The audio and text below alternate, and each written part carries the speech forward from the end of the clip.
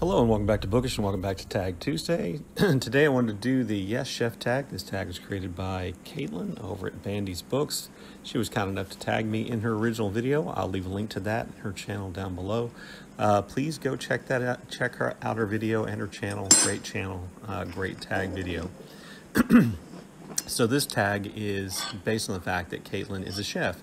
So this is called the Yes Chef tag. I did work in restaurants pretty much uh, in high school and uh, in college, mostly as a waiter, uh, but I did work um, as a cook in a uh, small restaurant for a while. I've been a busboy, a dishwasher. Um, those were kind of my jobs. So this was really, um, uh, this tag really kind of reminded me of that a little bit. So uh, here we go with the questions. question number one. Have you ever read a book about or written by a chef? If so, which ones and did you enjoy it? I don't think I've ever read a book written by a chef, but I did read uh, part of Anthony Bourdain's Kitchen Confidential when it was published in the New Yorker back in the day. I had a subscription to the New Yorker, and I remember reading that uh, piece that of, of his book that was in the New Yorker, uh, and it really resonated with me about things like that I guess would might shock people a little bit. And uh, one of the things I remember him saying was that um, if you eat in a restaurant, uh, people have had their fingers in a, in in your food, uh, which I found to be absolutely true.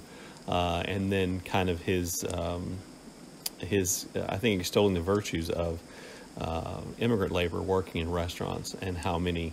Um, immigrants from uh, Central and South America find working in American restaurants uh, behind the scenes, uh, which is probably not as uh, surprising now, maybe as it was back in the day when you wrote that.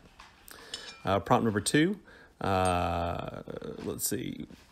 Do you notice food descriptions in books? Why or why not? Um, I do notice them when I read them, but they're rarely features that stick with me uh, for a long time. And I'm not exactly sure why that is. I do have uh, fairly vivid memories sometimes of food things that I read uh, relatively recently. Uh, the pickles and the meat pie from Ethan Frome, uh, the breakfast from the colony, uh, probably stick in my mind more than than uh, than other things have. Uh, generally speaking, it sticks in my mind to think, wow, that, that sounds pretty good, or wow, that's kind of interesting, or that's strange. I think I've said this before, but the food scene that sticks in my mind the most is the eating contest from uh, Gabriel Garcia Marquez's 100 Years of Solitude.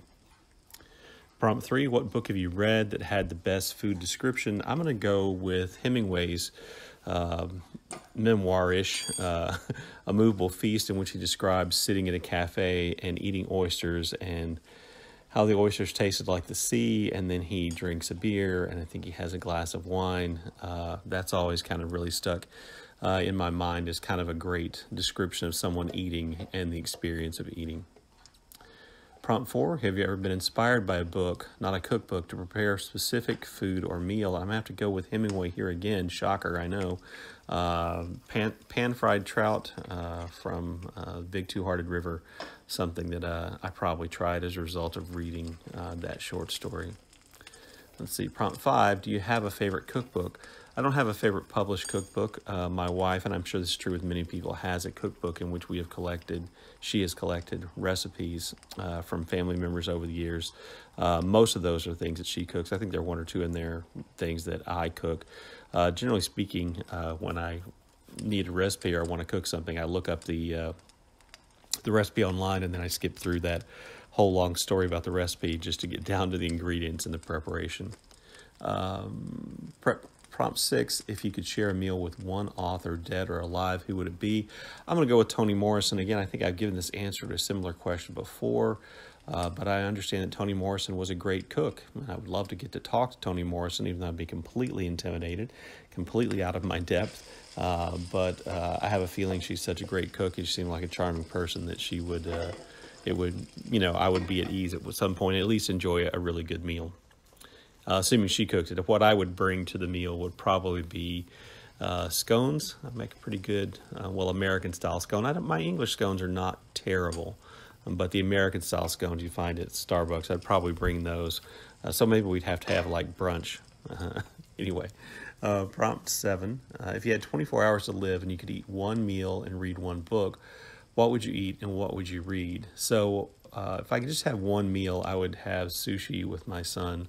Uh, any of the sushi restaurants we like to go to around here, that's always uh, just a treat. It's something we enjoy uh, doing together. Uh, so I would definitely uh, do that. Of course, my wife could come along too, but she's not as big a fan of sushi as uh, my son and I are. And I would read a um, a book of William Trevor short stories, 24 Hours to Live. I probably can't get through a whole book. So I wanted to bring something that would be something that I loved, something that was quality, something that would be moving, uh, something could be distracting and absorbing, but wouldn't take me all that long uh, to read. Uh, that's what I would uh, read. And then the eighth prompt is to tag some friends.